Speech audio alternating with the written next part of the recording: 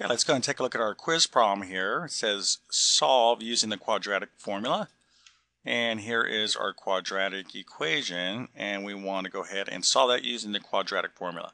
So before you take this quiz, obviously you want to know what the quadratic formula is, and um, you know hopefully you do, and this is just kind of a practice pop quiz for you. So let's go ahead and take a look at the solution.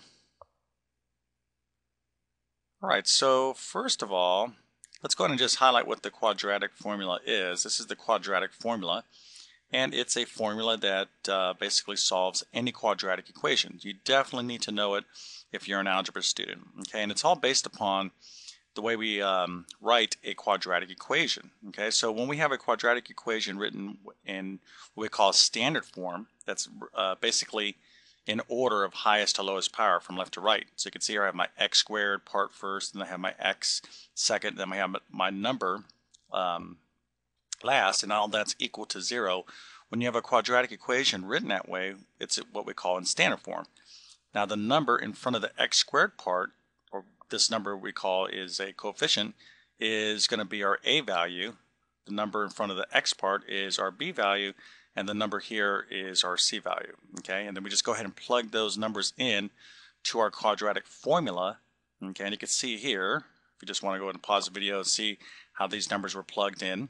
Okay, and you got to be very careful too, because it's like, for example, let's take a look at this minus b. Okay, so minus b is going to be minus the b value. Now, if you notice here, the b value is negative 13.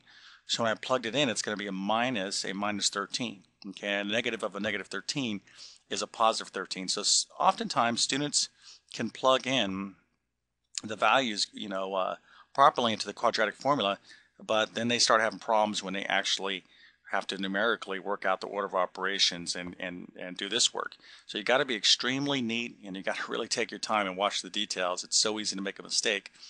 All right, so you can see how I plugged in the values for A, B, and C here. And when I continue to work them down, okay, you can see I'm simplifying.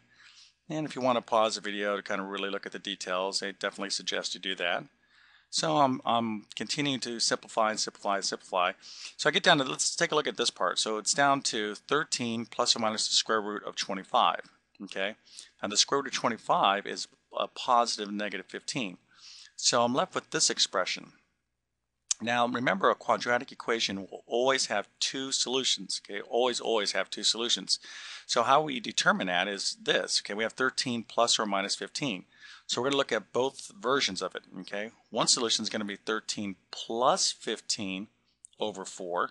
Okay, and then the second solution is going to be 13 minus 15 over 4. And we work out that math, you can see we come up with two answers. x is equal to 7 and, and x is equal to negative 1 half. And these are our two solutions. All right, so hopefully this was just an exercise in what you already know. And if you want to take more uh, pop quizzes like this, Please join me at homeschoolmathquiz.com. Especially if you're a homeschooler, you'll love the site. And have a great day.